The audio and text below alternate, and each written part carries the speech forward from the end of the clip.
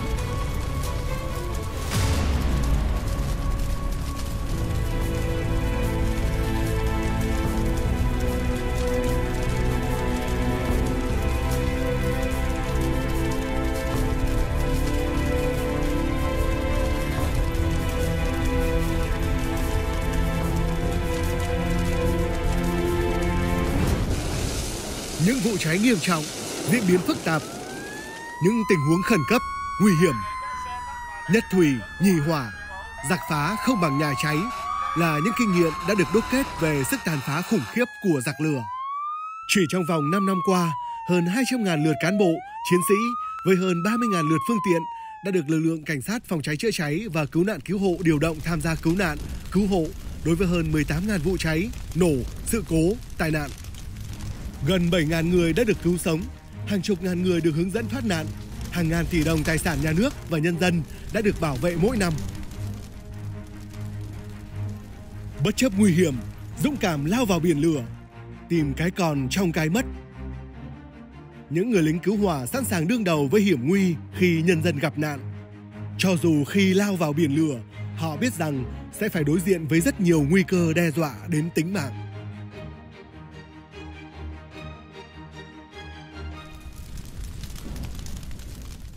Mỗi một vụ cháy, sự cố tai nạn là một thử thách, là một cuộc chiến đối với lực lượng cảnh sát phòng cháy và cứu nạn cứu hộ. Tham gia trong các cái hiện trường sự cố cháy nổ nó luôn tiềm ẩn cái việc à, sập đổ cấu kiện ừ, công trình rồi tiềm ẩn những cái hiểm nguy từ nhiệt độ khói khí độc đấy, dẫn đến à, đe dọa tính mạng của cán bộ chiến sĩ cũng như là người bị nạn. nguy hiểm khi là đấy là mình không biết rằng trong đấy là có một cái vật dụng hay là một cái thiết bị gì nó sẽ gây nổ đấy là bản thân đến khi mình vào một đám cháy đấy cái tính mạng của mình là rất mong manh nhà sập, lửa cháy, khí độc, than nổ. Hết dưỡng khí là những mối nguy hiểm ảnh hưởng lớn nhất tới tính mạng của người lính cứu hỏa. Trong những năm qua, đã có không ít cán bộ chiến sĩ cảnh sát phòng cháy chữa cháy và cứu nạn cứu hộ hy sinh. Nhiều người đã phải mang thương tật suốt đời trong quá trình chiến đấu với giặc lửa. Ngày 1 tháng 8 năm 2022, ba cán bộ chiến sĩ cảnh sát phòng cháy chữa cháy và cứu hộ cứu nạn công an quận Cầu Giấy, Hà Nội đã ngã xuống trong khi làm nhiệm vụ tại đám cháy xảy ra ở phố Quan Hoa, quận Cầu Giấy là Thượng tá Đặng Anh Quân, Thượng úy Đỗ Đức Việt và Hạ sĩ Nguyễn Đình Phúc. Sau khi tiếp cận hiện trường, hướng dẫn cứu hộ 8 người bị nạn ra ngoài an toàn, họ đã quay lại để tìm kiếm, cứu hộ, cứu hỏa tiếp thì cầu thang, trần nhà đã sập xuống khiến cả ba chiến sĩ hy sinh tại chỗ. Thúc giục cho các mũi tấn công bắt buộc phải nhanh chóng bằng mọi cách lên. Đấy, nhưng mà cuối cùng lên được tới nơi thì ba đồng chí cũng nằm xuống. Em đến bây giờ em không, không tin được mình mất đi ba người anh em đồng chí đồng đội. Đây ờ, cũng là những tấm gương sáng để cho ờ, cán bộ chiến sĩ học tập và noi theo dân phục vụ. Đấy, luôn ờ, nêu cao cái tinh thần trách nhiệm trong công việc sẵn sàng hy sinh vì sự bình yên của nhân dân.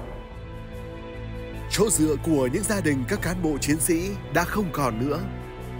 Những ước mơ khát vọng cống hiến còn dở dang từ nay xin khép lại có lẽ đối với những người lính quên thân mình để chiến đấu với giặc lửa, chính tình cảm, sự gắn bó mật thiết với nhân dân và phẩm chất cao quý vì nhân dân quên mình đã mang đến cho các anh ý chí và sức mạnh để sẵn sàng đối mặt với cái chết. Tất cả là vì hạnh phúc và tính mạng của nhân dân. Các anh là những người anh hùng bình dị trong lòng mỗi người dân. Cái sự hy sinh của các anh mà không có một cái gì mà so sánh được. Chúng tôi rất buồn, chúng tôi cũng rất là là cảm động. Nếu như họ mà nghĩ về bản thân thì họ đã không có những cái hành động dũng cảm như thế để lao vào những cái nơi mà họ nghĩ rằng vô cùng nguy hiểm để họ cứu dân ra. Lúc đấy là họ quên mình.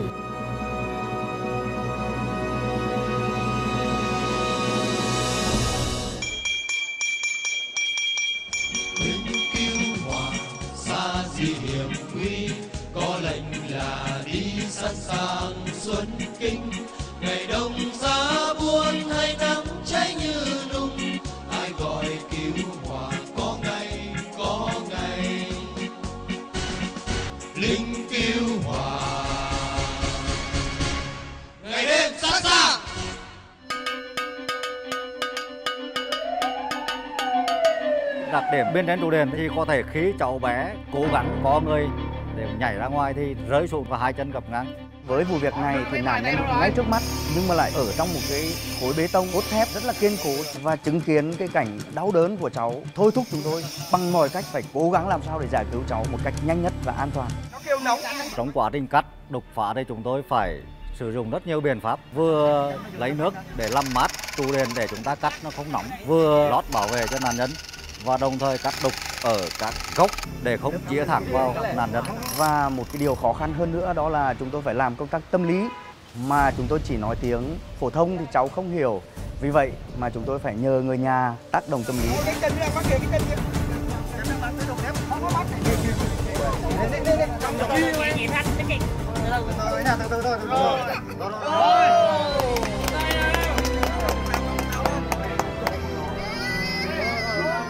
Động nó không thể nó tả được được nữa. Vì lý do là cái nhà là đã chết rồi cái nhà xong lại. Bà con tôi rất phấn khởi.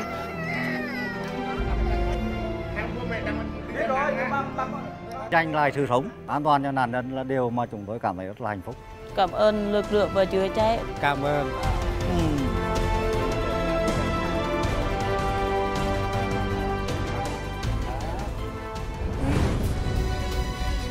Vì nhân dân quên mình trên dưới một lòng, không ngại gian khổ, không ngại dấn thân. Sẵn sàng lao vào chỗ chết để giành lại sự sống. Luôn có mặt tại tất cả các điểm cháy nổ. Hiện trường tai nạn bất cứ lúc nào, bất cứ nơi đâu để dập lửa cứu người. Đó là những phẩm chất anh hùng của những người lính phòng cháy chữa cháy và cứu nạn cứu hộ.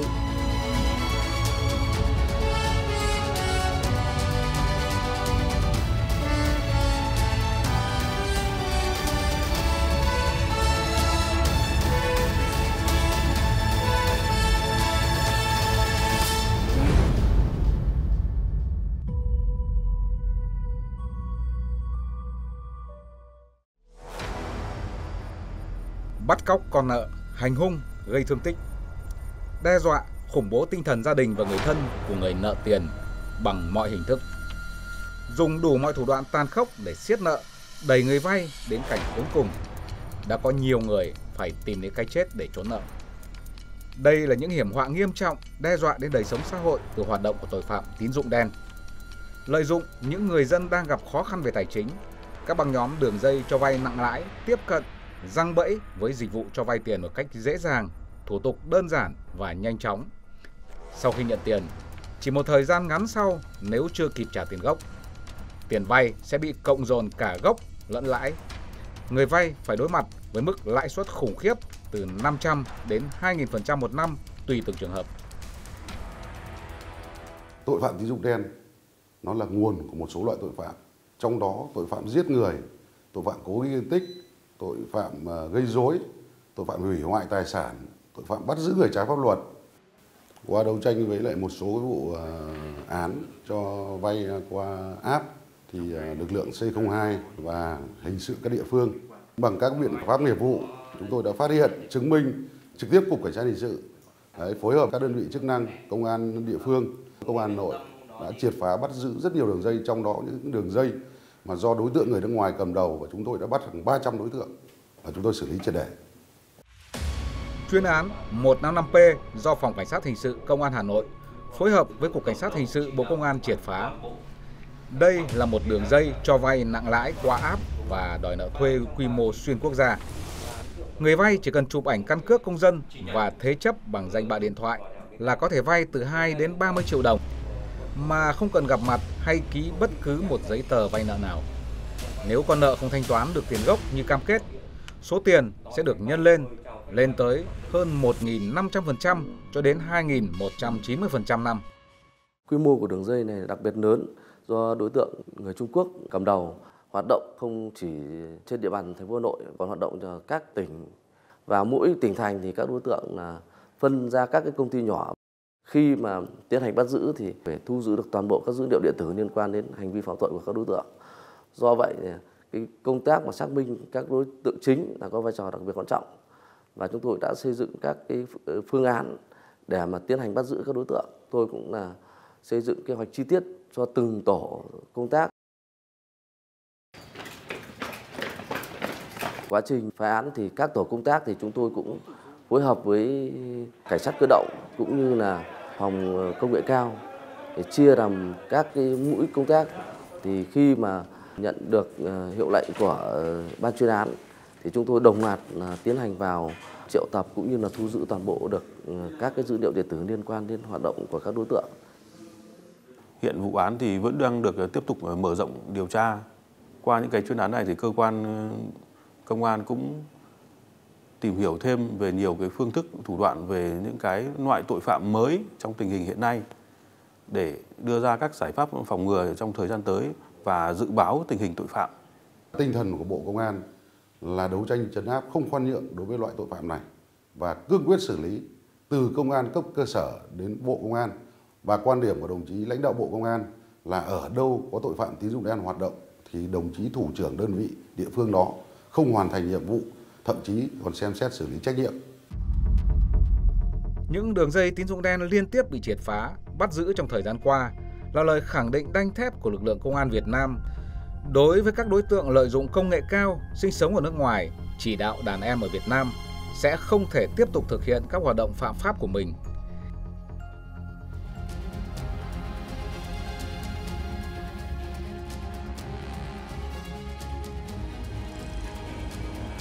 Hơn 76 năm qua, trong mỗi giai đoạn lịch sử, các thế hệ lực lượng cảnh sát hình sự đã không quản ngại gian khổ, hy sinh, nỗ lực vượt qua nhiều thử thách, hoàn thành xuất sắc nhiệm vụ, xứng đáng là quả đấm thép của lực lượng công an nhân dân trong lĩnh vực đấu tranh phòng chống tội phạm.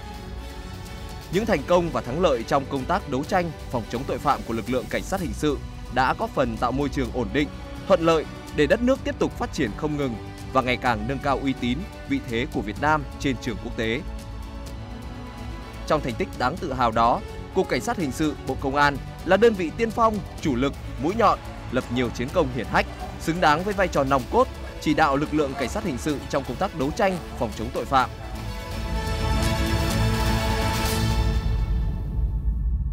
hoạt động của tội phạm hình sự có sự đan xen giữa hình sự, kinh tế, ma túy, môi trường và công nghệ cao. Khoa học kỹ thuật phát triển thì tội phạm cũng triệt để lợi dụng công nghệ cao để hoạt động phạm tội. Chính vì vậy là lực lượng cảnh sát hình sự đòi hỏi không phải những có bản lĩnh, có trình độ, có cái sự dũng cảm, lòng kiên trì mà đòi hỏi phải có cái kiến thức khoa học, có sự am hiểu về cái lĩnh vực về khoa học công nghệ cũng như là những cái thủ đoạn mới của tội phạm để sớm nhận diện và ừ, tham mưu cho đảng của công an đánh bộ có những giải pháp phòng ngừa. Mục tiêu cao nhất là kéo giảm tội phạm, đảm bảo cuộc sống của nhân dân và mang lại bình yên và hạnh phúc cho nhân dân.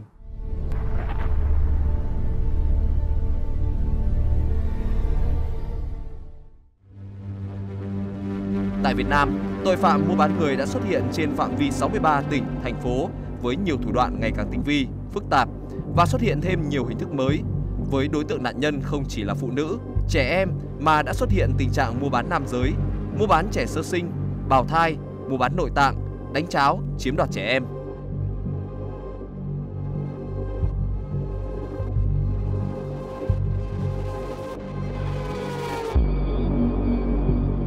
Trước kia phần lớn các tội phạm ờ, mua bán người đã đưa các nạn nhân là chủ yếu là phụ nữ, trẻ em gái của người Việt Nam ra nước ngoài, đặc biệt là các nước trung đường biên giới để bán có thể làm vợ, làm gái mại dâm.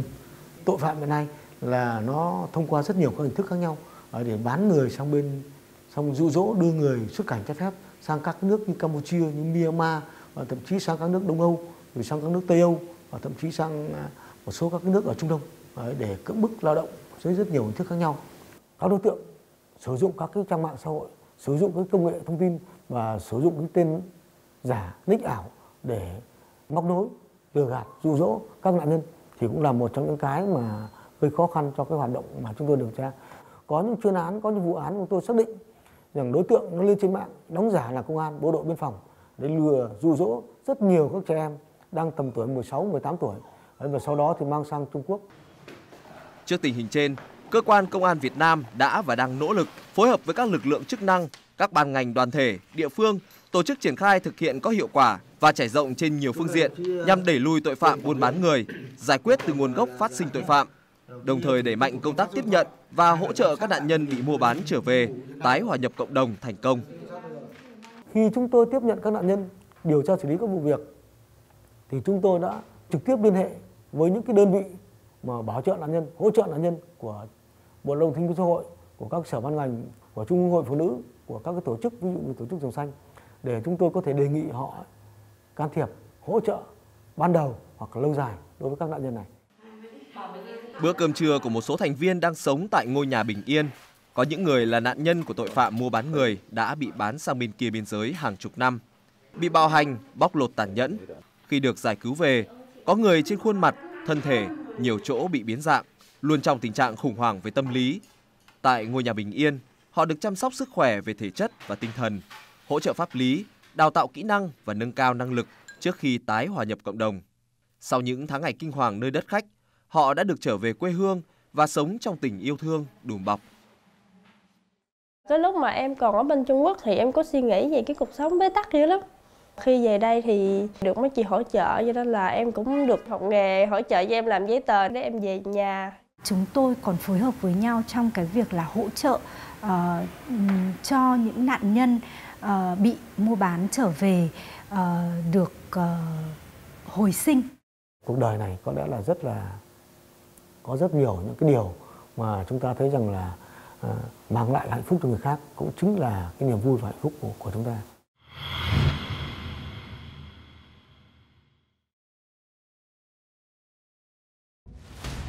Xả thải trái phép chất độc hại gây ô nhiễm không khí, đất, nước. Khai thác trái phép tài nguyên khoáng sản. Buôn bán thực phẩm bẩn. Tàn phá rừng, buôn bán động vật hoang dã trái phép. Các loại tội phạm môi trường đang diễn ra ngày càng phức tạp, tinh vi. Kiên trì, nhẫn nại, mưu lược, quyết đoán, lực lượng cảnh sát môi trường bí mật bất ngờ phá án thành công, ngăn chặn những vụ việc gây tác hại nghiêm trọng tới an ninh môi trường chặn đứng những hành vi phạm tội gây nguy hại tới màu xanh của đất nước.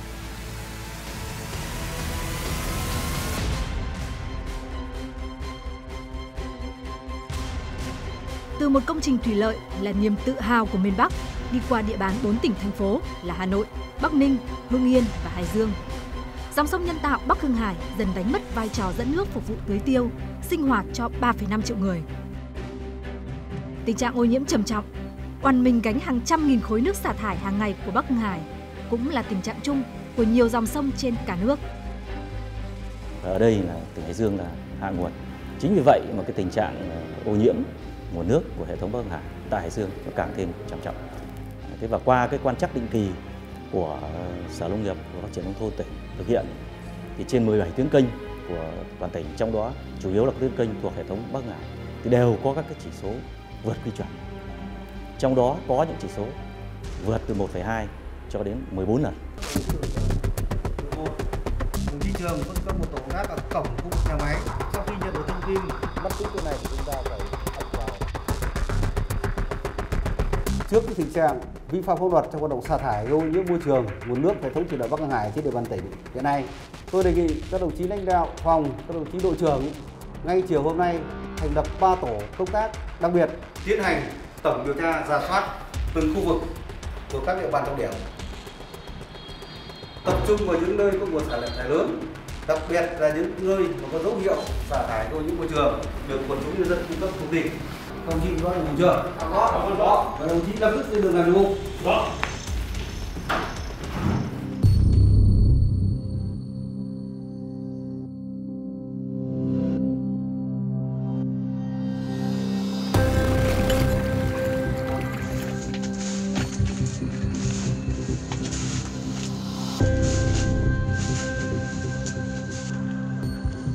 vào tiếp cận đối với cái vị trí xả thải, nó khoảng cách rất dài, gần 1 km phải men theo các đường bờ ruộng, có đoạn bám theo đường sông. Xung quanh toàn bộ doanh nghiệp thì có camera lắp đặt, dẫn đến là cảm quan bình thường chúng ta rất khó tiếp cận.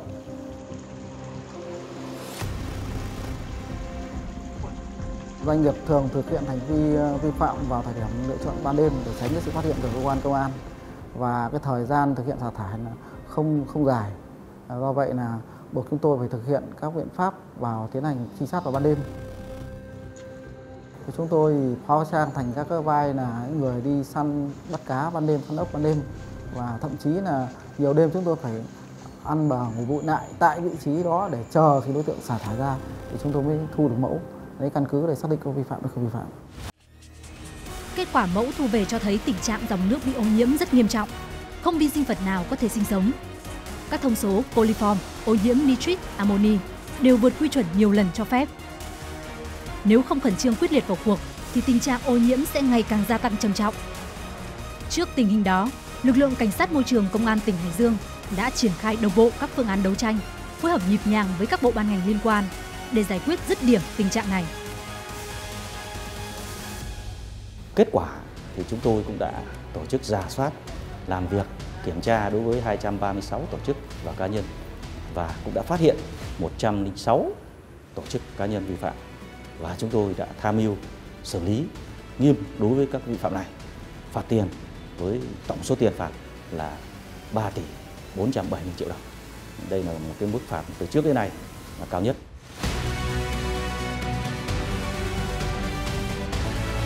Với sự vào cuộc quyết liệt của các cơ quan chức năng, vấn đề ô nhiễm hệ thống thủy lợi Bắc Hưng Hải đang dần được cải thiện. Ý thức bảo vệ môi trường của người dân sống gần khu vực này cũng dần được nâng lên. Trước kia khu nghiệp chưa về thì tôi vẫn thả cá và nuôi trồng thủy sản trên dòng sông. Đến khi công nghiệp về thì có cái hiện tượng nước, thải và ô nhiễm môi trường là quá nhiều. Bản thân tôi là sống ở rìa đấy cũng không thể chịu được. Và khi các cơ quan ban ngành vào cuộc thì đến bây giờ nó cũng mất đi thì cảm thấy nó cũng an toàn. Đến nay mà nói thì là đã được cải thiện. Bây giờ nguồn nước là cũng trong hơn. Cũng mong các cấp chính quyền giúp đỡ cho nhân dân là cái cuộc sống môi trường nó đảm bảo trong lành. Dễ trăm lần, không dân cũng chịu. Khó vạn lần, dân liệu cũng xong. Bền bỉ, kiên trì, không ngại khó khăn gian khổ, bám địa bàn tuyên truyền pháp luật, vận động, thuyết phục nhân dân và các đơn vị sản xuất kinh doanh có ý thức giữ an toàn cho môi trường, góp phần nâng cao chất lượng cuộc sống của nhân dân cũng như đảm bảo hoạt động bền vững của doanh nghiệp. Ngoài việc thực hiện chức năng về đấu tranh phòng chống tội phạm môi trường trên địa bàn tỉnh thì chúng tôi cũng chú trọng ờ, trong công tác tuyên truyền, vận động các cái doanh nghiệp, ờ, người dân trên địa bàn tỉnh và ờ, trực tiếp là lực lượng cảnh sát môi trường chúng tôi tổ chức các cái buổi Ờ, tuyên truyền tại các cái doanh nghiệp ờ, đóng chân trên địa bàn, nâng cao ý thức của các cái doanh nghiệp và người dân trên địa bàn tỉnh. Được sự hướng dẫn của Phòng Cảnh sát Môi trường Công an tỉnh Quảng Ninh thì chúng tôi cũng đã hướng dẫn lại các cái doanh nghiệp đầu tư thứ cấp hoạt động trong khu công nghiệp Đông Mai luôn luôn chấp hành đầy đủ những cái quy định về công tác bảo vệ môi trường trên địa bàn khu công nghiệp. Trong đó đầu tư đồng bộ các hệ thống xử lý nước thải, xử lý khí thải, xử lý tiếng ồn cũng như các công tác thu gom chất thải nguy hại và chất thải sinh hoạt đầy đủ đáp ứng tốt cái ờ, quy định về công tác bảo vệ môi trường trên địa bàn tỉnh. Qua 16 năm kể từ ngày thành lập, lực lượng cảnh sát môi trường luôn khẳng định vai trò tiên phong, nòng cốt trong công tác phòng chống tội phạm và các hành vi vi phạm pháp luật về môi trường, tài nguyên, an toàn thực phẩm. Có thể nói là qua thực tiễn công tác, lực lượng cảnh sát môi trường đã khẳng định bản lĩnh chính trị vững vàng, lòng trung thành tuyệt đối với Đảng, Nhà nước và nhân dân. Những cái kết quả thành tích à, trên cũng đã góp phần quan trọng vào cái sự à, phát triển kinh tế xã hội và đối ngoại của đất nước, củng cố được niềm tin của nhân dân đối với lực lượng công an nhân dân và cũng tạo được sự ủng hộ của nhân dân trong cái công tác phòng chống tội phạm về tài nguyên, môi trường, an toàn thực phẩm. Trong những năm tới, tình hình tội phạm vi phạm pháp luật về môi trường, tài nguyên an toàn thực phẩm dự báo sẽ còn nhiều diễn biến phức tạp. Đòi hỏi lực lượng cảnh sát môi trường phải chủ động, tích cực triển khai công tác hợp tác quốc tế về bảo vệ môi trường, đẩy mạnh các hoạt động đối ngoại, hợp tác quốc tế, phối hợp chặt chẽ với các đơn vị trong và ngoài ngành công an, nâng cao hiệu quả đấu tranh phòng chống tội phạm về môi trường. Đây cũng là chủ trương của Bộ Công an trong việc tiếp tục nâng tầm đối ngoại và hợp tác quốc tế, nâng cao vị thế của Công an Nhân dân Việt Nam. Từ khi gia nhập Interpol năm 1991 và ASEANPol năm 1995 cho tới nay, lực lượng cảnh sát Việt Nam đã chủ động, tích cực hợp tác chặt chẽ với cảnh sát các nước trong đấu tranh phòng chống tội phạm. Phối hợp điều tra xử lý các vụ án có tổ chức xuyên quốc gia, truy bắt các đối tượng bị truy nã quốc tế và đào tạo, huấn luyện nhằm nâng cao năng lực thực thi pháp luật. Trong 4 năm gần đây, Văn phòng Interpol Việt Nam đã trao đổi hàng chục nghìn lượt thông tin qua kênh Interpol đề nghị truy bắt hơn 3.000 đối tượng truy nã quốc tế của Việt Nam và các nước trên thế giới. Ban Tổng thư ký Interpol đã ban hành trên 200 lệnh truy nã quốc tế theo đề nghị của Việt Nam, phối hợp và truy bắt 6 đối tượng truy nã bỏ trốn ra nước ngoài để điều tra xét xử trong nước. Interpol Việt Nam cũng đã tổ chức phối hợp với công an các tỉnh thành truy bắt 28 đối tượng người nước ngoài có lệnh truy nã quốc tế lẩn trốn tại Việt Nam. Trong đó có một số đối tượng đặc biệt nguy hiểm. Nhiều thông tin do phía nước ngoài cung cấp đã được sử dụng phục vụ công tác điều tra nhiều vụ án lớn có tính chất xuyên quốc gia liên quan tới Việt Nam. Trong đó có những đường dây tội phạm mua bán vận chuyển ma túy lớn, hoạt động tại nước ngoài vận chuyển vào Việt Nam tiêu thụ. Đặc biệt là các dạng ma túy tổng hợp, một loại ma túy mới có sức tàn phá không thể cứu chữa về sức khỏe và tinh thần của người nghiện và gây ra nhiều hệ lụy nghiêm trọng cho cộng đồng và xã hội.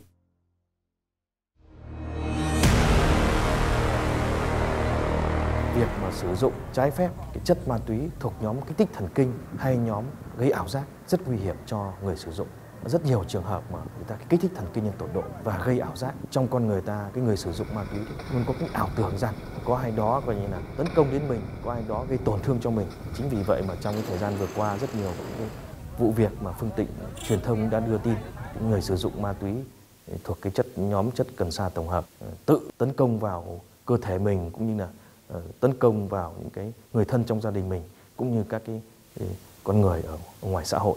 Tức là cái dạng tồn tại cái cái hình thức cái cách thức sử dụng của cái tội phạm về ma túy hiện nay là, là rất là tinh vi.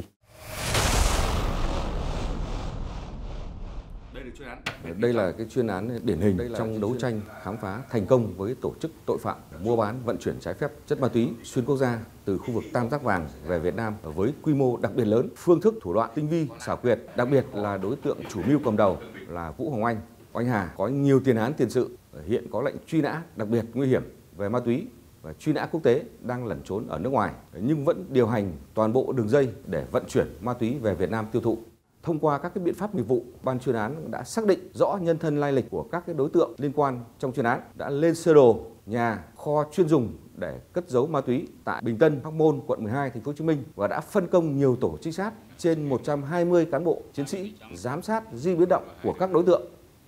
Ngày 13 tháng 9 năm 2022, để xác định đối tượng chủ mưu cầm đầu ở nước ngoài sẽ cho người vận chuyển ma túy với số lượng lớn về địa bàn thành phố Hồ Chí Minh tiêu thụ. Ban chuyên án quyết định triển khai quân số để triệt phá Cùng một lúc, tất cả các đơn vị mà được phân công nhiệm vụ và các đơn vị thành viên trong ban chuyên án cũng đã đồng loạt xuất quân và phối hợp một cách nhịp nhàng, đồng bộ triển khai lực lượng để đảm bảo khi mà đồng loạt cùng bắt giữ và khám xét trong một thời điểm ở tại địa bàn thành phố Hồ Chí Minh và các tỉnh phía Bắc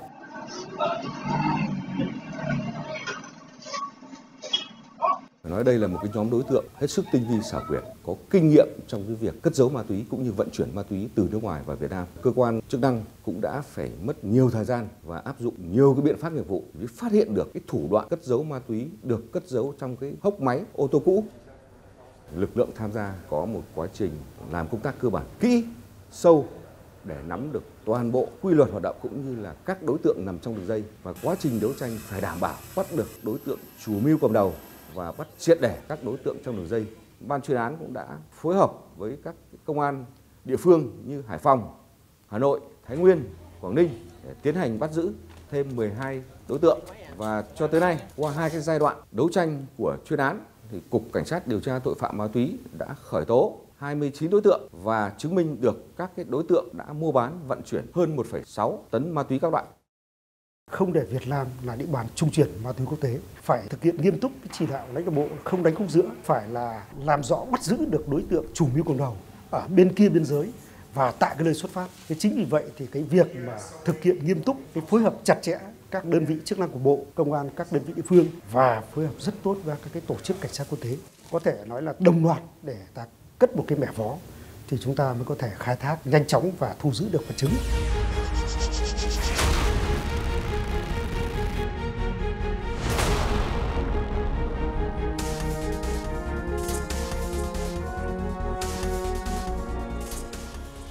Chuyên án 822T là chiến công xuất sắc mới nhất của Cục Cảnh sát điều tra tội phạm về ma túy. Đơn vị anh hùng lực lượng vũ trang nhân dân trên chặng đường hơn 25 năm xây dựng, chiến đấu và trưởng thành. Lực lượng cảnh sát điều tra tội phạm về ma túy luôn nỗ lực cống hiến, vượt mọi gian khổ, khó khăn, thử thách, lập nhiều thành tích, chiến công xuất sắc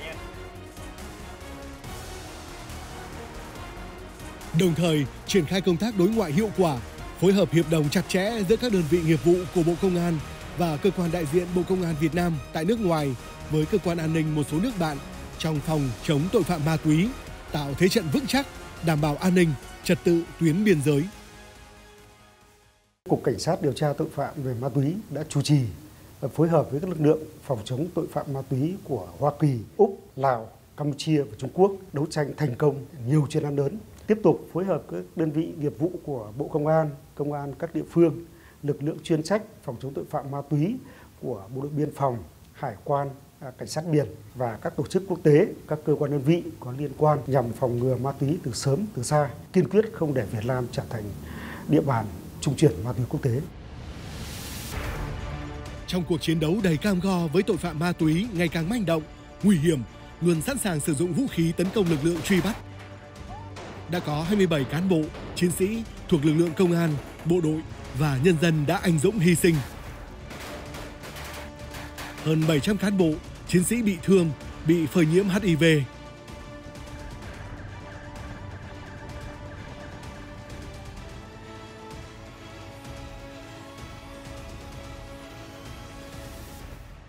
Chúng tôi đã bị thương thì cũng vẫn còn may may mắn hơn những đồng đội của tôi có những đồng đội đã mãi mãi nằm xuống vì cái bình yên cuộc sống của nhân dân.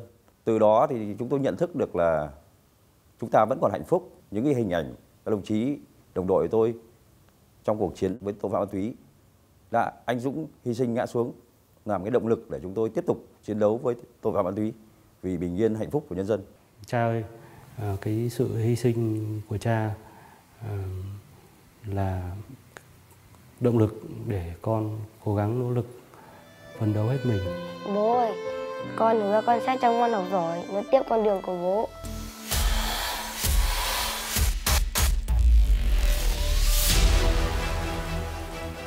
Bước chân con theo bước chân cha, ngọn lửa nhiệt huyết mà người cha truyền lại luôn ấm nóng trong trái tim của những người con để họ cùng tiếp lửa anh hùng, không quản ngại khó khăn gian khổ để đến với những bản làng gắn bó và bảo vệ nhân dân.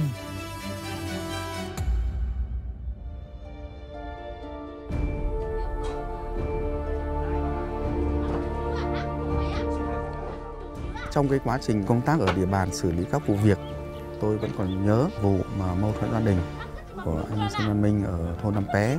Vợ chồng mâu thuẫn có những cái là lúc cái vã, có lúc đỉnh điểm đã xảy ra những cái xô xát. Nguyên nhân dẫn đến cái mâu thuẫn trong gia đình cũng chỉ vì là khó khăn. Ngoài ra ruộng nương thì ít, không có phụ thu thêm cho gia đình, gọi về chỗ anh à, lành sau lù, công an viên lên và cũng giao nhiệm vụ. Là kèm anh Minh này đưa Minh đi uh, tham gia uh, xây. Đấy nói tâm sự với em rồi. Thì uh, tới đây em phải đi theo lù để là học uh, xây để có tạo cái thu nhập cho gia đình là mình theo uh, lù. Và biết là lúc đầu sẽ rất khó khăn và em phải cố gắng. Vâng, em sẽ hết sức cố gắng.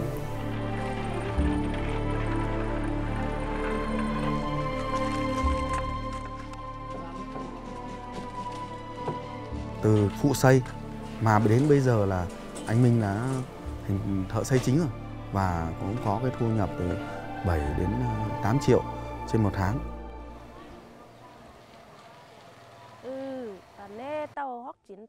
Ngày xưa thì vợ chồng mình do hoàn cảnh gia đình khó khăn và thiếu thốn nên xe máy cũng không có để đưa con đi học. Giờ chịu khó đi làm, tiết kiệm được, tích cóp có tiền mua xe cho con đi học rồi. Kinh tế gia đình cũng ổn định hơn. Công an tỉnh có cái chủ trương ấy đưa công an chính quy về cơ sở. Tôi cũng đã sung phong để uh, xuống đảm nhận chức danh công an xã vào à, tháng 3 năm 2020. Được điều động và bổ nhiệm làm trưởng công an xã là Nhiều. Phải nói là đồng chí là là một à, chiến sĩ à, trẻ năng lực và cũng nhiệt huyết công việc. Đặc biệt là vì Thành là cái vai trò và cái khả năng gần gũi với người dân, tạo lòng tin trong dân. Bây giờ là phải cảnh giác. Thứ nhất là cả trâu, bò cũng thế là xe máy. Công an xã như là đồng chí thành trưởng công an ấy thì giúp đỡ bà con trong bản trong thôn rất là nhiều triển khai an ninh trật tự rồi xóa đói giảm nghèo đấy chúng tôi rất là rất là rất là mừng lực công an cũng là thành lập một cái tổ tự quản ở các thôn thì trong đó có thôn Na Van của chúng tôi Huyện Chí Mần hiện nay là huyện Chí Mần có 17 xã và trong thời gian vừa qua là thực hiện chủ trương của Trung ương cũng như Bộ Công an à, đưa lực lượng công an chính quy về xã. Tình hình an ninh chính trị trên địa bàn huyện cải thiện rất là rõ rệt. Đối với xã Tà Nhiều, lực lượng công an chính quy về xã à, nắm bắt cơ sở à, cũng đã hòa nhập rất là nhanh. Các tội phạm là được giảm rất là nhiều. Nó là người dân rất là yên tâm sản xuất và ổn định cuộc sống. À, bây giờ muộn rồi, các cháu học xong rồi các cháu về nghỉ ngơi nhá. Để làm việc nhỏ đi theo Không gây rối trật tự nhá. À, rồi đi về đi.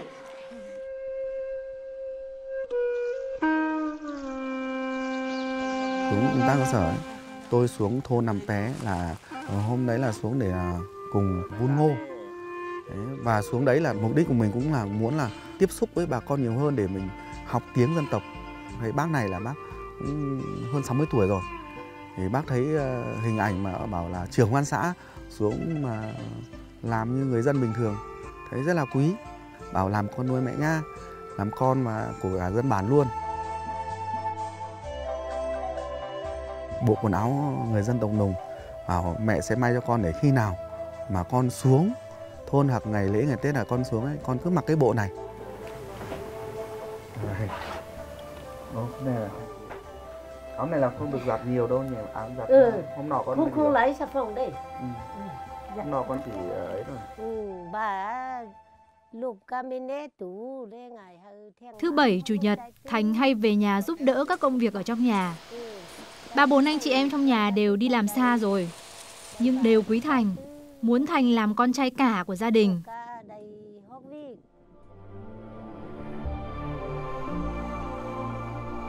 Tôi à, xuống công tác có những lúc là thời gian rất lâu là không được về gia đình.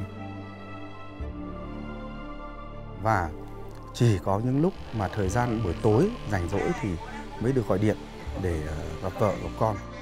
con học bài xong chưa Con học bài xong rồi ạ. hôm nay có đi học thêm không Ốm nên con đi ạ.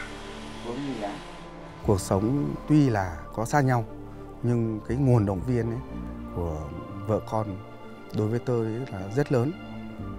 Chính cái à, sự tin tưởng cái điện cái cái cái của người vợ đối với mình là cái làm cho cái mình là yên lòng công tác. Và chính những cái đồng đội mình đã làm điểm tựa cho mình để mình như cũng như là lực lượng quan xã hoàn thành tốt nhiệm vụ. Và lực lượng quan xã và bản thân mình là điểm tựa của người dân. Và cũng như cái câu nói của đồng chí tổng bí thư nguyễn phú trọng uh, danh dự là điều thiêng liêng cao quý nhất. Và uh, câu nói của bộ trưởng tô lâm là lúc dân khẩn lúc dân khó khó là công an. Từ các bản làng xa xôi, vùng cao biên giới đến các thành phố, thị trấn, lực lượng công an xã ở nhiều địa phương trên khắp đất nước đã góp phần đảm bảo an ninh trật tự, giữ sự bình yên cho xóm làng, quê hương. Bất kể ngày đêm, mưa nắng, những hiểm nguy do thiên tai, vượt dòng mưa lũ, màu áo công an xã luôn có mặt, tiếp cận hiện trường các vụ sạt lở, tham gia tìm kiếm các nạn nhân mất tích, cứu hộ những trường hợp tai nạn khẩn cấp. Gần dân, sát việc, không quản ngại khó khăn, lực lượng công an chính quy về xã đã và đang tiếp tục ghi dấu ấn đậm nét qua các chiến dịch cao điểm cấp căn cước công dân gắn chip điện tử, bảo đảm đúng tiến độ theo lộ trình của Bộ Công an, góp phần quan trọng trong việc cơ sở dữ liệu quốc gia về dân cư.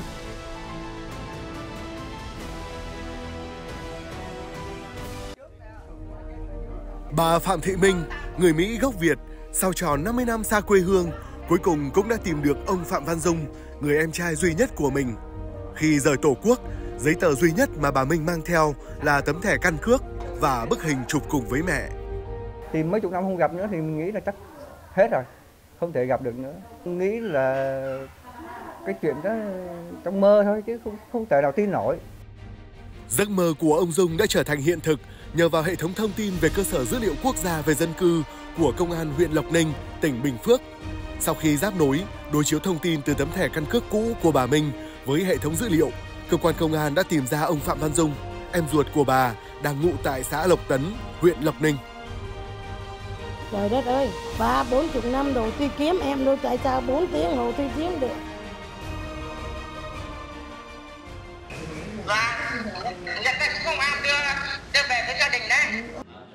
Trong tháng 12 năm 2022, công từ cơ sở dữ liệu quốc gia về dân cư, gia đình cụ Kiện 101 tuổi, cụ Hơn 93 tuổi ở Kim Bảng, Hà Nam đã gặp lại được người thân ruột thịt của mình là bà Lê Thị Hạnh 72 tuổi đang trú tại tỉnh Đắk Lắk sau 35 năm thất lạc. chị mình đi xa lâu rồi bây giờ thấy chị về rất là xúc động mừng rỡ lắm Chìa khóa để truy cập thông tin công dân trong hệ thống cơ sở dữ liệu quốc gia là thẻ căn cước công dân có gắn chip điện tử, còn gọi là thẻ căn cước điện tử. Người dân sẽ chỉ cần duy nhất chiếc thẻ có thể tích hợp được 30 loại giấy tờ cá nhân này để thực hiện các giao dịch với cơ quan, tổ chức hoặc giao dịch hành chính mà không còn phải lo lắng về các vấn đề giả mạo giấy tờ hay lộ lọt thông tin cá nhân. các cái giải pháp công nghệ mà được ứng dụng của cơ sở quốc gia dân cư là những cái giải pháp tiên tiến nhất của thế giới chuẩn ảnh theo chuẩn ICAO là đã đảm bảo các cái dữ liệu của công dân được bảo mật một cách an toàn tuyệt đối triển khai xây dựng cơ sở dữ liệu quốc gia về dân cư và sản xuất, cấp và quản lý căn cước công dân gắn chip là hai dự án công nghệ thông tin quốc gia chưa từng có tiền lệ. được Bộ Công an thực hiện trên phạm vi từ các cơ quan trung ương đến 63 tỉnh, thành phố trên toàn quốc. Những cán bộ, chiến sĩ tại cơ sở phải căng mình thực hiện khối lượng công việc khổng lồ trong một thời gian rất ngắn, trên tinh thần tất cả vì lợi ích quốc gia, lợi ích dân tộc, lợi ích của nhân dân. Hôm nay, Trung tá Lò Văn Khụt, thành viên trong tổ tăng cường thu nhận hồ sơ căn cước công dân lưu động của Công an huyện Tuần Giáo đến bản Hốc Trứng, xã Mường Thín để tuyên truyền, vận động người dân làm căn cước công dân gắn chip. chào các bác nhá. chào bà con. Đây là một trong nhiều tổ thu nhận hồ sơ căn cước công dân lưu động do Công an tỉnh Điện Biên tổ chức để đến các bản xa xôi, đi lại khó khăn để nhằm triển khai cấp thẻ căn cước công dân gắn chip cho người dân. Bà con thế này tôi thì rất là phấn khởi là có lãnh đạo công an đến tận bản để làm cho phục vụ cho bà con. Đi làm ở những các vùng sâu, vùng xa mà có khi khoác máy đi từ đồi nọ sang nhà kia thì phải đi hàng mấy tiếng đồng hồ. Nếu mà may mắn mà gặp được người dân ấy thì còn xin được phát cơm để ăn. Không gặp được người dân để ăn thì lại có khi lại phải ăn mì tôm sống ở dọc đường, uống nước suối để chống đói và có khi đi cả tuần mới về đến trung tâm huyện. Chính vì cái hình ảnh thực tế người dân nhìn thấy là cái sự hy sinh của lực lượng công an rất to lớn, không có ngày nghỉ, không có giờ nghỉ nên người dân rất ủng hộ lực lượng công an trong quá trình thực hiện.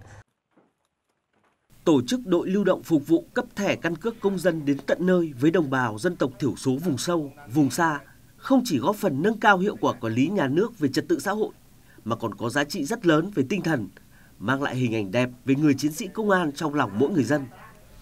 Trên cơ sở đó, người dân trên khắp cả nước đã nhiệt tình tham gia cung cấp thông tin, tham gia làm căn cước công dân không quản ngày đêm, ủng hộ giúp đỡ các cán bộ chiến sĩ hoàn thành nhiệm vụ. Và đây chính là tiền đề quan trọng cho sự ra đời của đề án phát triển ứng dụng dữ liệu dân cư, định danh và xác thực điện tử phục vụ chuyển đổi số quốc gia giai đoạn 2022-2025, tầm nhìn đến năm 2030 của chính phủ hay còn gọi là đề án 06.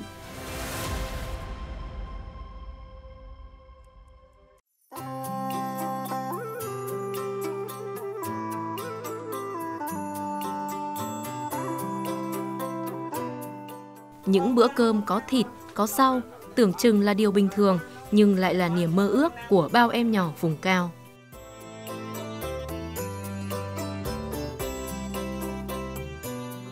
Chứng kiến hoàn cảnh khó khăn của vùng biên Lóng Sập, Trung úy Dương Hải Anh và Công an huyện Mộc Châu đã ấp ủ thực hiện dự án nuôi em Mộc Châu giúp đỡ các em nhỏ.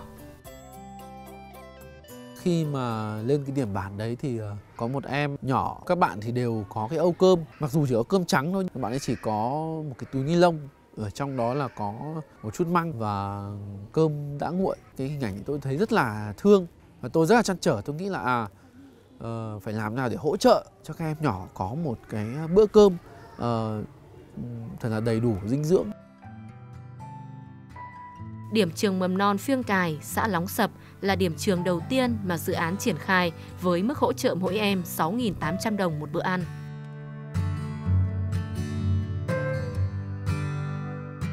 Ngày đầu để triển khai dự án cũng là trong cái dịp cao điểm tấn công chấn áp tội phạm, bảo vệ Tết Nguyên đán. Tôi là ngoài việc ờ, đảm bảo an ninh trật tự tại địa bàn thì phải phải tranh thủ thời gian, ban đêm là dự phiếu thông tin để trả cho các anh chị nhận nuôi. Khi mà lên các cái điểm bản như vậy thì vì ờ, người dân cũng rất là xa lạ, người ta bảo là, ô, bình thường công an chỉ lên đây để để có sự vụ gì thôi chúng tôi lên với một hình ảnh mềm mại hơn, thì chúng tôi hỗ trợ những ăn cơm trưa chính vì thế mà bà con cũng tin tưởng hơn. Chúng tôi chia sẻ những câu chuyện của tôi trên facebook.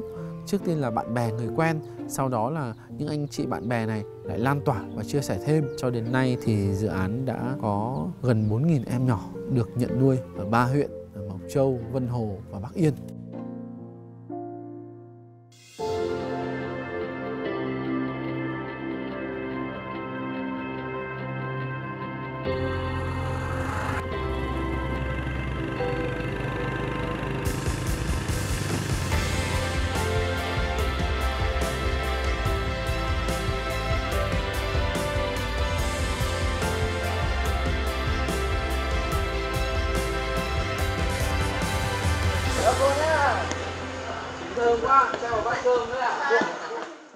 Này có dự án nuôi em, các con đi học đều, ăn uống đầy đủ chất dinh dưỡng. Tôi cân theo định kỳ, cứ 2 tháng tăng cân và đo một lần chiều cao của các con là gần như mỗi trẻ là phải tăng ít nhất là 2 phân. Cân nặng thì có bạn lên cân rưỡi, có bạn lên 2 cân. Trường rất là mong muốn cái dự án này sẽ kéo dài mãi mãi để cho các con ở các vùng sâu, vùng xa, đặc biệt là ở vùng xã biên giới như chúng tôi cho các con được hưởng các bữa ăn ờ, cơm trưa ở lớp được đảm bảo cái tỷ lệ trẻ để giảm cái tỷ lệ trẻ suy dinh dưỡng. Không chỉ dừng lại ở dự án nuôi em Mộc Châu, Trung úy Dương Hải Anh cùng đồng đội của mình còn tiếp tục những hành trình thiện nguyện đầy ý nghĩa đến với trẻ em nơi vùng cao.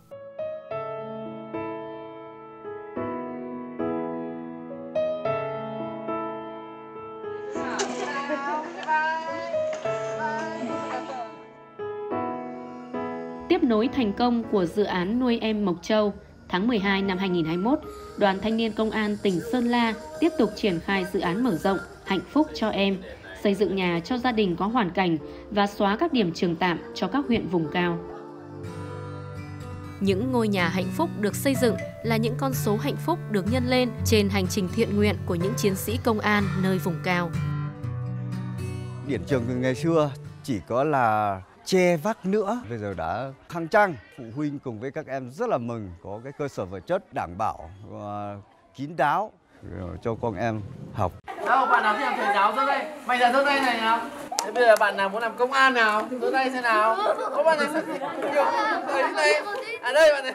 Bạn này thích nào Trung úy Dương Hải Anh và các đồng đội đã trở thành cầu nối yêu thương, lan tỏa truyền thống vì nhân dân phục vụ của lực lượng công an nhân dân.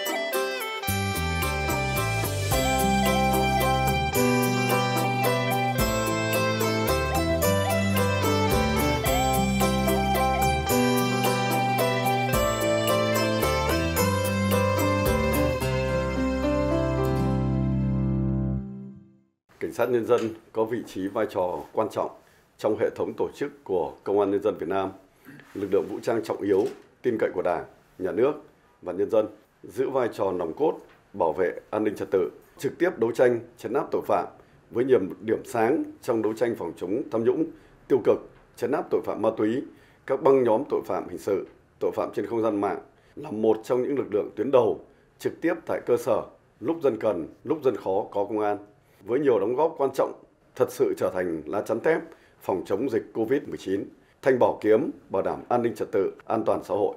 Để đáp ứng yêu cầu nhiệm vụ trong tình hình mới, thì lực lượng cảnh sát nhân dân tiếp tục phải phát huy truyền thống vẻ vang, tập trung triển khai hiệu quả những công tác trọng tâm, đổi mới tư duy, phương pháp công tác, kết hợp chặt chẽ, hiệu quả giữa các biện pháp nghiệp vụ truyền thống và hiện đại, tăng cường hợp tác quốc tế để nắm chắc tình hình, chủ động nhận diện, phát hiện, đấu tranh phòng chống tội phạm từ sớm, từ xa, thực hiện mục tiêu kéo giảm số vụ phạm pháp về trật tự xã hội hàng năm, tạo chuyển biến tích cực về trật tự an toàn xã hội. Thức cho dân ngủ ngon, gác cho dân vui chơi. Lấy niềm vui, hạnh phúc của nhân dân làm niềm vui, lẽ sống của mình. Tựa vào nhân dân, gắn bó với nhân dân, tuyệt đối trung thành với Đảng, với Tổ quốc. Lực lượng cảnh sát nhân dân trong suốt chặng đường hơn 60 năm qua không ngại gian khổ, hy sinh, dũng cảm, mưu trí, sáng tạo, khôn khéo trong đấu tranh, sẵn sàng xả thân vì đất nước, vì hạnh phúc của nhân dân, hun đúc lên 16 chữ vàng cao quý. Cảnh sát Việt Nam mưu trí, dũng cảm, vì nước, vì dân, quên thân phục vụ, xứng đáng là điểm tựa của bình yên.